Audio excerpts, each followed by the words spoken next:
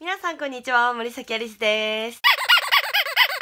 はい、今日は重大発表がございます私、森崎アリスは5月の5日にファンクラブを発足いたしますはい。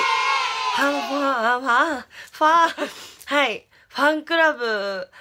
をね、作るにあたって、あの、本当にいろんな方に協力をしていただいて、あの、実現したあのファンクラブなんですけど、ピンク星時々人間っていうファンクラブを発足いたします。えっと、今日は5月1日なんですけど、えっと、まあ、あと4日後、5日後くらいかな、配信されてからに、えっと、URL の動画をまた配信いたしますので、その概要はそちらでまたちゃんとお話をさせていただきます。で、えー、内容としましては月額制になるんですけれども、携帯決済ができるようになってます。で、月額500円で、携帯決済ドコモ、ソフトバンク、au の携帯決済ができるので、簡単に入ることができます。そして、特典として、え参加していただいた方、ファンクラブに入っていただいた方は、イベントの参加券が今、ゲットできるみたいです。ファンクラブ限定のイベントも開催するので、すごくレアな回にできるのかなと思います。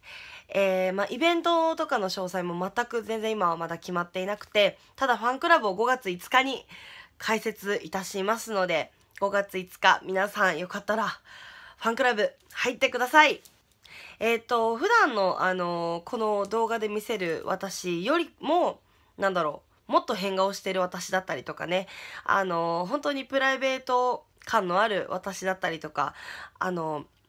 濃密なことも書くし、あの、逆に動画で言えないことだったりとか、ブログじゃ言えないことだったりとか、なんかこう、ファンクラブの中だからこそ言えることっていうのも私はあると思うので、あの、そういうのもやっていきたいなと思います。はい、ということで、5月5日の日にあの、また詳細出しますので、えー、楽しみに待っていてください。はい。ということで今日は私のファンクラブ、ピンク星時々人間のファンクラブ解説のお知らせでした。皆さん楽しみにしててくださいね。また動画出します。森崎愛でした。バイバーイ Twitter、Instagram、LINE の ID は横に書いてあります。ぜひチェックしてみてください。ということで、次の動画もお楽しみに。チャオチャンネル登録してね。チャンネル登録してね。チャンはあいつもの動画より緊張した。